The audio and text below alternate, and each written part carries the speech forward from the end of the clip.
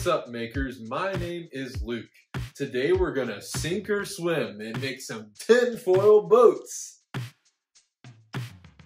Buoyancy is the ability for an object to float or sink. It was first identified by the Greek mathematician and philosopher Archimedes. He found that the amount of water displaced or moved by an object is equal to the amount of force required to keep that object floating.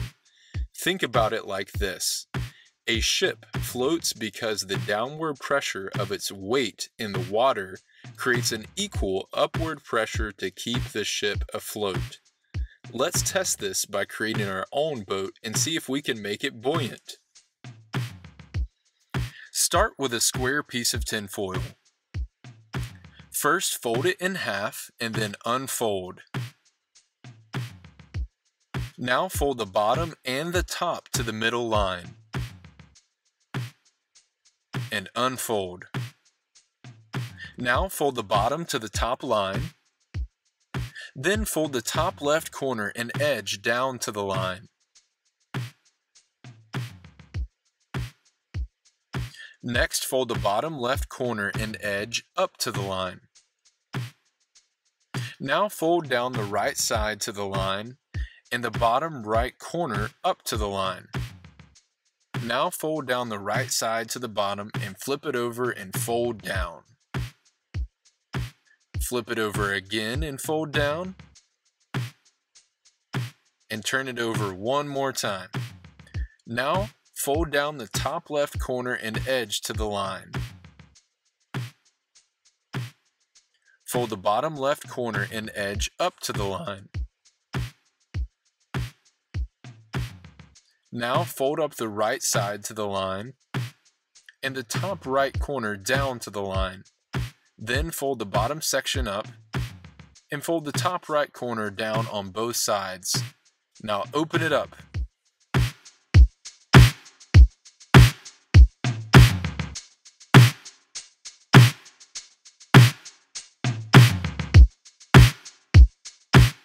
Awesome! Before we test, let's see another way to make a tinfoil boat using one square sheet of tinfoil. First, fold it in half. Now fold it in half again and rotate to make a diamond. Now take one of the four pieces and fold it down to the bottom. Turn it over and fold down the rest to the bottom. Open the edges and fold down.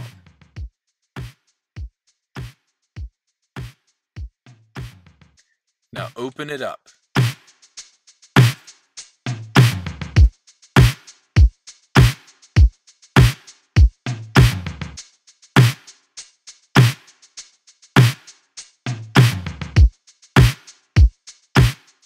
Now let's test to see if this one is buoyant.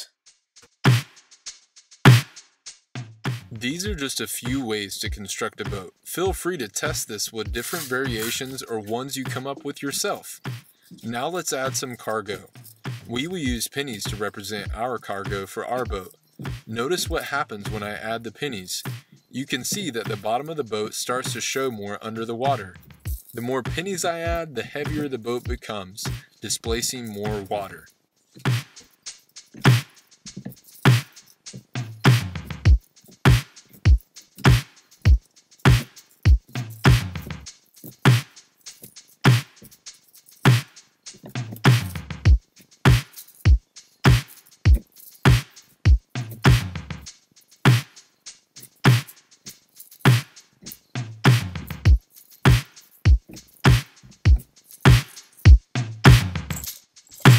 And there she goes. Let's watch it one more time. This boat was able to hold up to 85 pennies before it sank into the water. Now let's try the other boat.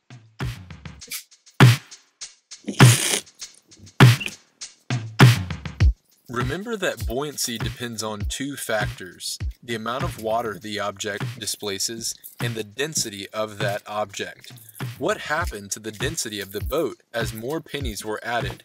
If too much cargo or weight is added, the boat's density becomes greater than that of the water, and it sinks. Let's see how many pennies this boat will hold before it sinks.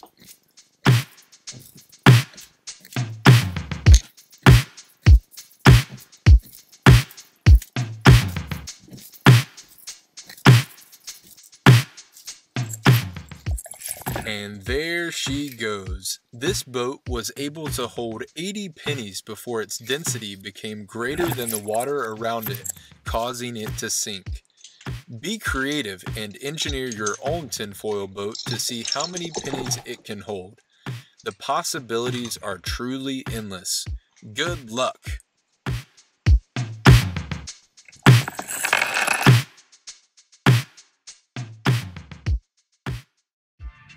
Share your creation online using the hashtag ITeachMaker.